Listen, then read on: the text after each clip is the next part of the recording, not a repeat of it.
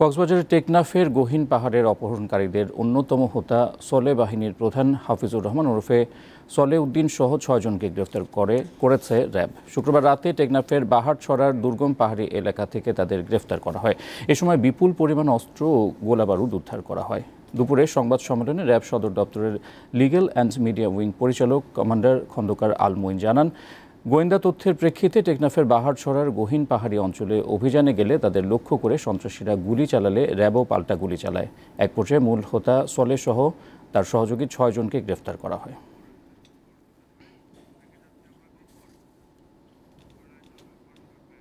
কক্সবাজারের টেকনাফের গহীন পাহাড়ের অপহরণকারীদের অন্যতম হোতা সলে বাহিনীর প্রধান হাফিজুর রহমান ওরফে সলে উদ্দিন সহ ছয়জনকে গ্রেফতার করে, করেছে র্যাব। শুক্রবার রাতে টেকনাফের বাহার ছড়ার দুর্গম পাহাড়ি এলাকা থেকে তাদের গ্রেফতার করা হয়। এ সময় বিপুল পরিমাণ অস্ত্র ও গোলাবারুদ উদ্ধার করা হয়। দুপুরে সংবাদ সম্মেলনে র্যাব সদর দপ্তরের লিগ্যাল অ্যান্ড মিডিয়া উইং পরিচালক কমান্ডার খন্দকার আল মঈন জানান গোয়েন্দা তথ্যের প্রেক্ষিতে টেকনাফের বাহারছড়ার গহীন পাহাড়ি অঞ্চলে অভিযানে গেলে তাদের লক্ষ্য করে সন্ত্রাসীরা গুলি চালালে র্যাবও পাল্টা গুলি চালায়। এক পর্যায়ে মূল হোতা সলে সহ তার সহযোগী ছয়জনকে গ্রেফতার করা হয়।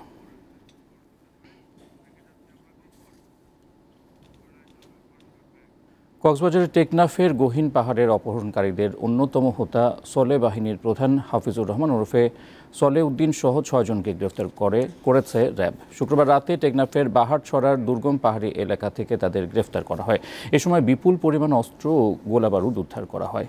দুপুরে সংবাদ সম্মেলনে র্যাব সদর দপ্তরের লিগ্যাল অ্যান্ড মিডিয়া উইং পরিচালক কমান্ডার খন্দকার আল মঈন জানান গোয়েন্দা তথ্যের প্রেক্ষিতে টেকনাফের বাহারছড়ার গহীন পাহাড়ি অঞ্চলে অভিযানে গেলে তাদের লক্ষ্য করে সন্ত্রাসীরা গুলি চালালে, র্যাবও পাল্টা গুলি চালায়। এক পর্যায়ে মূল হোতা সলে সহ তার সহযোগী ছয়জনকে গ্রেফতার করা হয়।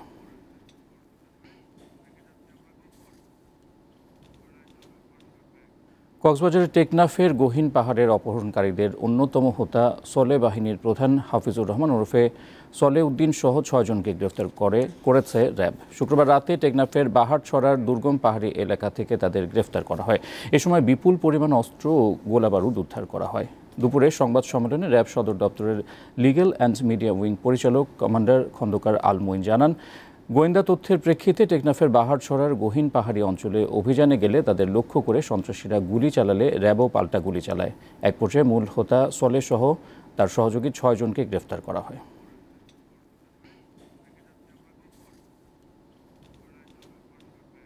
কক্সবাজারের টেকনাফের গহীন পাহাড়ের অপহরণকারীদের অন্যতম হোতা সলে বাহিনীর প্রধান হাফিজুর রহমান ওরফে সলে উদ্দিন সহ ছয়জনকে গ্রেফতার করে, করেছে র্যাব। শুক্রবার রাতে টেকনাফের বাহার ছড়ার দুর্গম পাহাড়ি এলাকা থেকে তাদের গ্রেফতার করা হয়।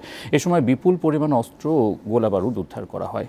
দুপুরে সংবাদ সম্মেলনে র্যাব সদর দপ্তরের লিগ্যাল অ্যান্ড মিডিয়া উইং পরিচালক কমান্ডার খন্দকার আল মঈন জানান গোয়েন্দা তথ্যের প্রেক্ষিতে টেকনাফের বাহারছড়ার গহীন পাহাড়ি অঞ্চলে অভিযানে গেলে তাদের লক্ষ্য করে সন্ত্রাসীরা গুলি চালালে র্যাবও পাল্টা গুলি চালায়। এক পর্যায়ে মূল হোতা সলে সহ তার সহযোগী ছয়জনকে গ্রেফতার করা হয়।